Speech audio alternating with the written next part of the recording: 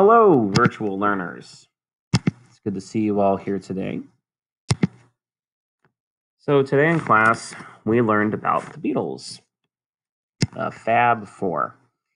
And here we've got them uh, clockwise from top left, John Lennon, Paul McCartney, George Harrison, and Ringo Starr.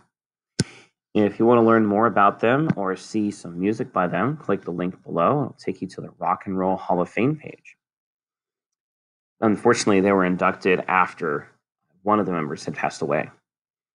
Okay, so let's get right into it here. So the Beatles were formed in 1960 in Liverpool, England.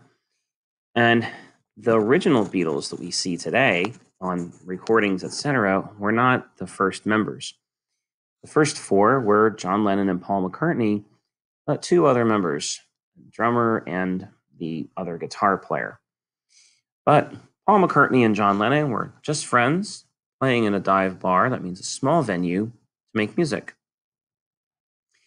Tension arose early among the original members of the Beatles, but in 1962, the band we know today was formed what actually happened was the drummer couldn't take the criticism he was receiving from John Lennon and left the group. And Ringo Starr left a different band to join the Beatles. Now, really quickly about each member, each member brings something unique to the Beatles. John Lennon was a brilliant musician and lyricist. So, John Lennon wrote a lot of the words to a lot of the songs by the Beatles. He was also a piano player. Paul McCartney, the bass player, could also play piano, and he still does with his group today. He's responsible for most of, if not all, the melodies written by the Beatles. He also wrote the words to some songs too. Ringo Starr is the drummer from the Beatles. He is still alive.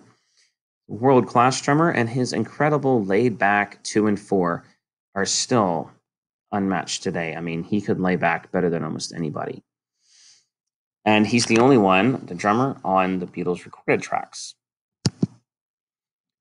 Okay, and moving on to the other Beatles who are no longer with us. George Harrison, a songwriter in his own right, wrote at least five songs in the Beatles catalog. One of those is uh, the Sunshine Song. He was also a very talented guitarist. George passed away in 2012 from a battle with cancer. He was 58. Now, much more tragically, John Lennon passed away in 1980. Uh, he was shot in front of his New York apartment uh, by a crazed fan. He was only 40. But news of his passing stopped the world, meaning it was a whole baseball game. Just everybody stopped what they were doing. They were so amazed. They were just bummed that the Beatles would never get back together.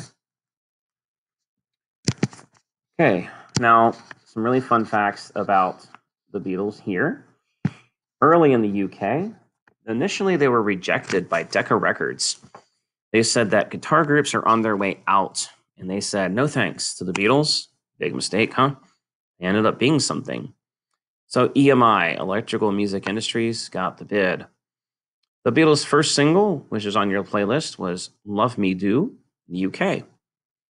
Shortly after they signed with a new producer in 1963, Beatlemania ensued. Everybody went nuts for the Beatles. They had their first number one, which was Please Please Me. That's the album cover on the background of your slide here.